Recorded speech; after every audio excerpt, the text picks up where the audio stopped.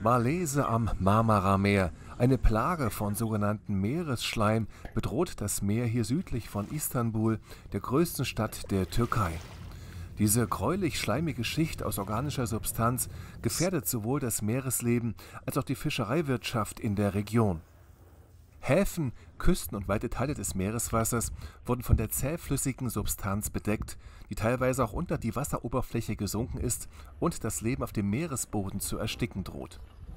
Der türkische Umweltminister Murat Kurum rief auf, an der, wie er es nannte, größten Aufräumaktion im Meer teilzunehmen, die am Dienstag beginnen sollte. Der Minister sagte dazu, Wir werden das Marmara-Meer unter Schutz stellen. Wir werden in drei Jahren alle notwendigen Schritte unternehmen und alle Projekte umsetzen, die nicht nur die Gegenwart, sondern hoffentlich auch die Zukunft des Marmara-Meeres retten werden. Kurum sagte, man wolle den Stickstoffgehalt im Meer um 40 Prozent verringern.